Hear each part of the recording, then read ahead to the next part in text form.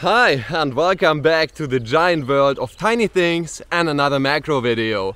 As you can see today we're in the woods, it's a beautiful day, a beautiful location and we're going to go for a macro walk and test out my new 2.5 to 5x macro lens by Venus Optics which I'm really excited for. Let's go!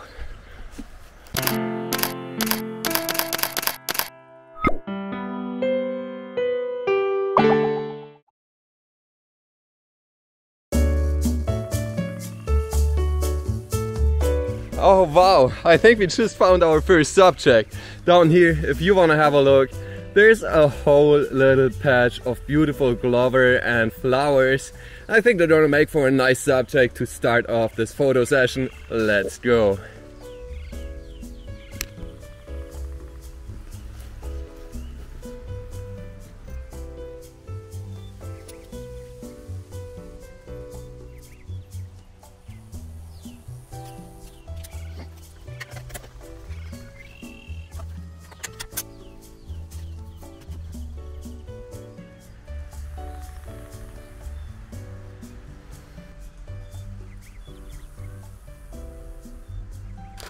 Wow, and even just 2.5x is pretty extreme already as this flower bud fills completely out the frame.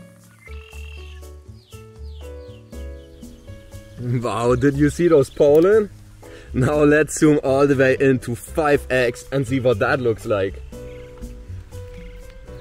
And to shoot at 5x, we're going to need to turn down the aperture to f2.8 because otherwise we'll just have to deal with the diffraction softening. So we are 2.8 and we're going on full 5x. I think because we opened up the aperture so much we can dial down the speed light by one stop. Now let's zoom in on that pollen and see what that looks like magnified. Exciting stuff for sure.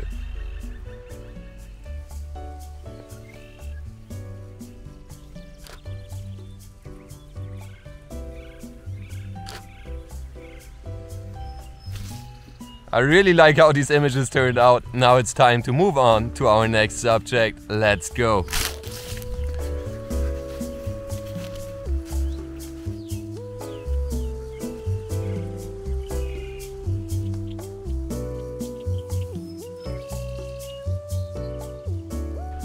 Wow, I think I just located our next subject. If you want to have a look right down here, there's a fresh, clear drop of sap and I think that's gonna make for some really interesting, natural looking refraction shots. Let's zoom in on it and see what that'll look like. And as before, I think we're going to start with the low magnification, low magnification, right, of 2.5x and f8. And then we're going to zoom in all the way to 5x to compare those two images. Let's begin. Again, I set my flash power to 1 4th to compensate for the more narrow aperture.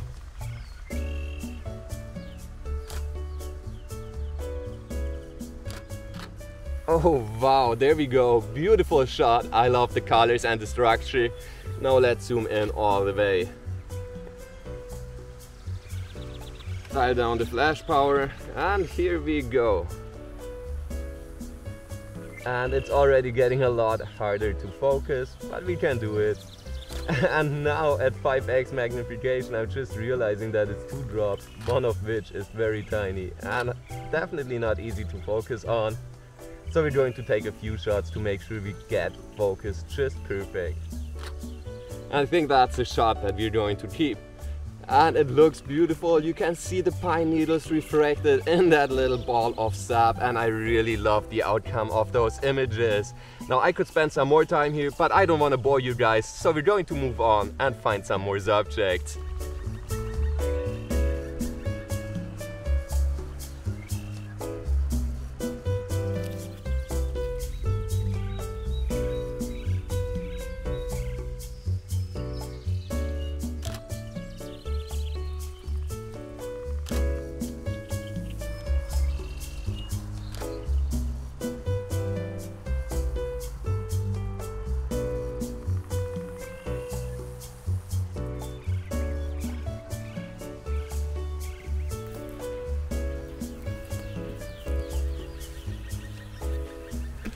Alright, I'm not sure if you were able to see that, but there's a really well camouflaged spider hanging in midair, suspended in its invisible net. So I'm going to see if I can get a decent shot of that spider. Let's see.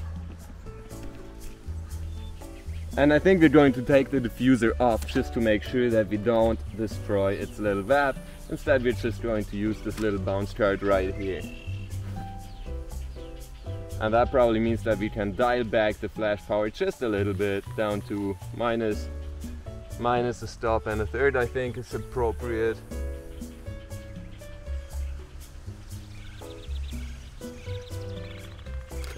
And it's really hard to get focus right with the wind blowing it in and out of focus. Now we've got its tummy, let's see if we can get its actual upside. I'm going to try to sneak in behind it and get some shots from that perspective.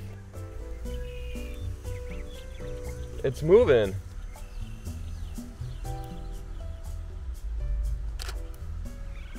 And we got the shot that I wanted. Awesome. Alright, that's that. Let's find another subject. And I think I already found one.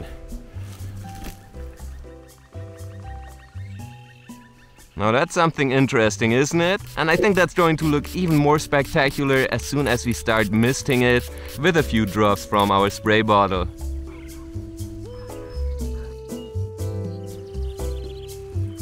Wow, I'm loving the colors, loving the effects. This is just gorgeous. Even though it's not exactly easy to focus, it's worth it.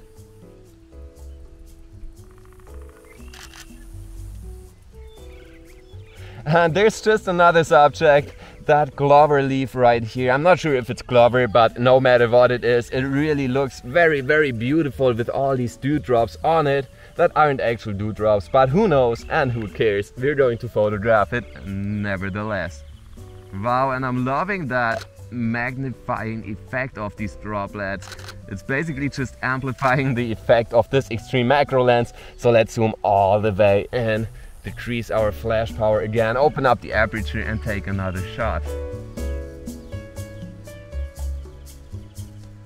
And you can tell that our focusing plane is so thin at this point that it's really not easy to focus. But at the same time, the abundance of subjects down here is just incredible. There's another subject that I didn't even notice before. It's an abundant old spider web and without the dewdrops it wasn't even visible but now it is visible and it's just gorgeous and we're going to mist it even more to increase that effect. And the bokeh of this lens really is quite alright I'd say.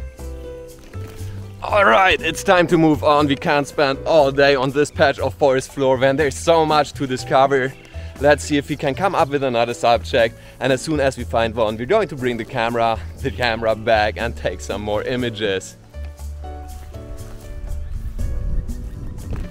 Alright, I'd say this has been a pretty successful photo walk so far heaps of interesting subjects made for beautiful images and I really like how they turned out and I really gotta watch my steps in this forest as to make sure that I don't trample on any of our future subjects as it is just jam-packed with interesting little critters and plants and structures. I really hope you're enjoying this video as much as I enjoy filming it and if you do please leave me a thumbs up and just make sure you subscribe to this channel to get notified when future videos come out. Now I think we're going to load for one more subject and then it's time to pack up and wrap up this video as the wind is picking up and I think it's going to rain soon. Let's hurry up. Oh, actually, no need to hurry. I think I just found our final subject. Uh, I'm gonna show you what I have in mind. There we are. And here is this little broken off pine twig that sort of looks like a flower but just way more interesting and sort of dried out and I'm not sure if pine trees grow flowers. Nevertheless, we're going to take some images and just see what they turn out like. Alright. Very beautiful.